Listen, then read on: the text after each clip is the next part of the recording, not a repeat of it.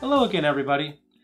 Now it's been quite a while since I've last done an awesome Linux tools video. In fact, I've only ever done one before this one and you know I did mean for this to become its own series. I just haven't had a chance to get around to doing another one. But I'm going to try to do more of these. Maybe not aligned to any specific schedule, but every now and then I think it's fun to show you guys an awesome Linux tool that I've discovered. And in this video, I'm going to show you guys uLauncher. So let's check that out. Now here I am on the actual uLauncher site, ulauncher.io, and I'll have a link in the description below. You can see that they have a little animation here that shows exactly what uLauncher is. Now, essentially what it does is it allows you to press a keyboard shortcut that will then allow you to launch applications or do other things. Now, I don't have it installed yet, but I am going to show it to you. And I wanted to make sure that I waited until I was recording before I installed it on this laptop. So I'm running Linux Mint right now. I recently did a beta overview or first impressions video on my channel. That's what this is from. So I'm running the beta of Linux Mint 19.3. Now this is actually installable on multiple different distributions, so you don't actually have to be running Linux Mint. Now if you scroll down on this page, you'll see here some of the distributions that this supports. Right away you can see that it supports Ubuntu, Arch Linux, and Fedora. In terms of Ubuntu, that's obviously going to work if you are using Ubuntu itself. But since Linux Mint is based on Ubuntu, it'll work with that as well. And in addition, if you are running Pop! OS, since that's based on Ubuntu, it'll also work with that too. Now, if you're not running on something that's based on Ubuntu, it gives you the command for Arch Linux right here. And then as of the time I'm recording this video, they have the 5.4 version available for Fedora 28 and 29. So you could just download the RPM and install it that way as well, and it even gives you the command to do so. So what I'm going to do is download uLauncher right here for Ubuntu since, like I mentioned, Linux Mint is based on Ubuntu. Go ahead and save it. Now you could open it with this, but I'm going to show you multiple ways to install it. It's a very fast download. It's only 1.3 megabytes, so that was pretty quick. So I'm going to go ahead and open a file manager here. And we can see that uLauncher was downloaded. Now we can install this one of two ways. The first thing you can do is try to double click on it. And depending on your distribution, a different utility might open when you double click on it. It's possible that you might not have a graphical utility to handle deb files, so your results may vary. If you see an option to install, you can simply click on that. If nothing comes up, or it brings up a compressor program or something weird like that, then we could just use the command line option, which I'm also going to show you. So I'm going to open a terminal, make this a little bigger.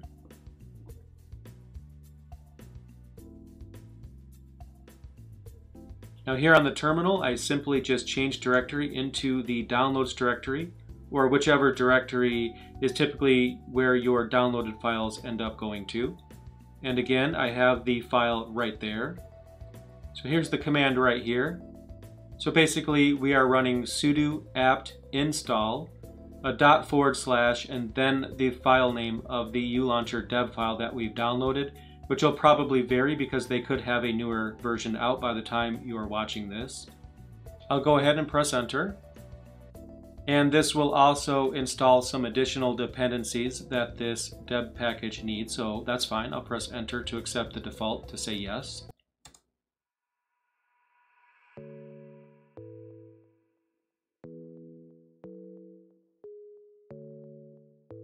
Okay, it's all done. So now that it is installed, I'm going to go ahead and just close out of these and just clean the desktop a little bit. Now I have an empty desktop. So what is uLauncher? How do you use it and how do you benefit from it? So first of all, now that it is installed, you should find it in your applications menu. In my case, I'll just search for it and here it is, uLauncher. And you get a message up here. The text is kind of small, but it says hotkey is set to control and space at the same time. So I'll go ahead and press it. And right away you see a text box appears on the screen. So what I can do is start typing the name of any application that I have installed. So for example, I'll start typing Firefox and I don't even need to type the entire thing and it automatically starts showing results. Now in my case, I type the word fire, so Firefox matches, firewall matches, and um, that's fine. I'm going to press enter. If you press enter, the first thing on the list will open, and that's fine. That's what I want is Firefox. I just press enter. And then up comes the browser. So why should you open applications with this utility? Well, I find it very easy to do. So for example, I mean, I have a Firefox icon right here, so that's pretty easy. But I'm gonna go ahead and remove it. Let's just say, for example, I don't. Now what I can do is click on the applications menu, I can click on internet, and then I'll find Firefox right here. And that's fine, the application opens, but I find it's fewer steps to simply do this. That was much faster than looking for the application in the applications menu. Now another reason I like this is that uLauncher works very well in GNOME. So GNOME has an activities overview that takes you out of whatever application you are working on to find a new application. And using uLauncher, well, it's a lot easier in my opinion and a lot quicker too, especially on GNOME.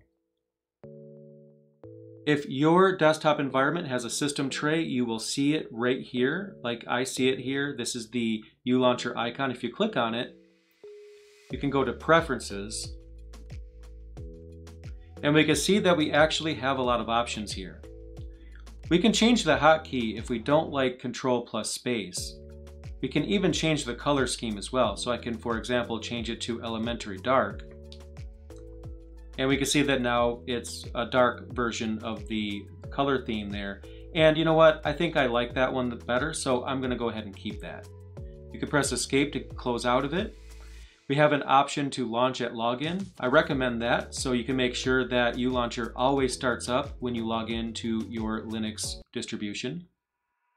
We have all kinds of things we can customize here. I'm not going to go over everything, but you also have some directories that are blacklisted. So basically things that are within these directories will not show up in the results. What's also cool is we have extensions. And extensions allow you to enhance uLauncher with additional features that aren't there by default. To show you what I mean, I'll just open up Firefox again here.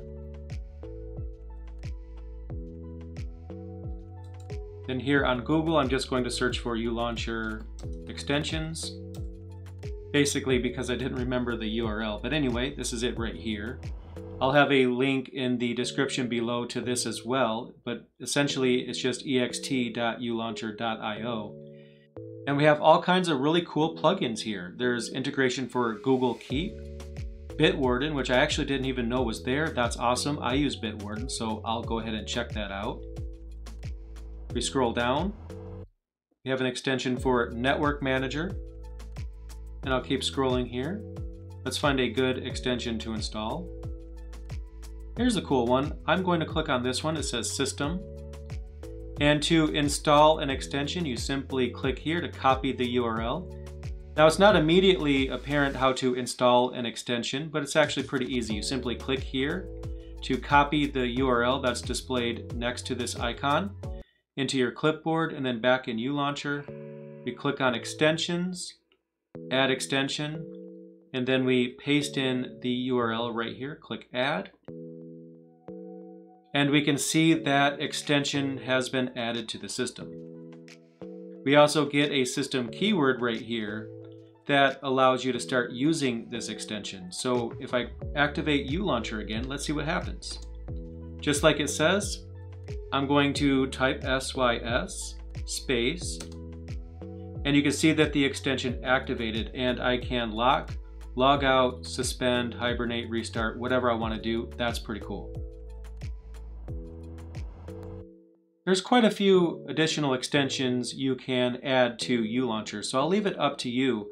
But feel free to explore this list. There are a bunch of extensions here that will allow you to make uLauncher your own. It's a really awesome utility.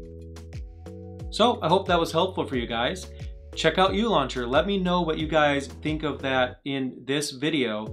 And then I am going to make additional awesome Linux tools videos in the future. I just created a playlist for this series. So go ahead and check that out. Subscribe to my channel and then you'll see all the new videos in this series as I get them uploaded. So thanks again for watching and I will see you in the next video. Thanks for checking out my video. I really appreciate it. If you found it useful, click that like button. And if you haven't already done so, make sure you subscribe so you'll see the latest content as soon as it becomes available. If you want to help me out, there's links down below for my Patreon page, as well as links for purchasing my Linux books, and also my affiliate store, which has a listing of Linux compatible hardware that I've actually tested personally. Thanks again for watching, and I'll see you in the next video.